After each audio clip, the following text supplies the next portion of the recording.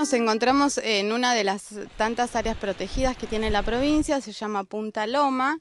Es un área cercana a la ciudad de Puerto Madryn, distante 15 kilómetros del, centro de la ciudad, que alberga una colonia de lobos marinos y cormoranes roqueros o de cuello negro. Está abierto durante todo el año en una jornada de 8 a 20 horas.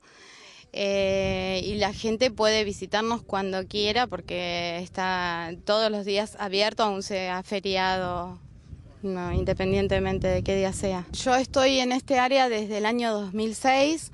En estos seis años se ha notado mucho el incremento de turistas nacionales, sobre todo en un fin de semana largo, de estos que, se transfieren para que la gente pueda salir, mucho turismo regional y mucho turismo nacional también. Hemos pasado de días de tener 300 personas a 800, así que el incremento ha sido importante. Yo creo que la gente busca mucho un destino turístico de naturaleza últimamente. Tenemos turistas de todo tipo. La gente viene caminando, el que le gusta caminar, viene en bicicleta, el que le habrán cruzado algunos ciclistas por el camino, el que le gusta andar en bicicleta y después en su propio auto. El camino no tiene eh, mayores dificultades, siempre con la precaución del caso porque es un camino de ripio. Generalmente está en buen estado porque Vialidad lo mantiene.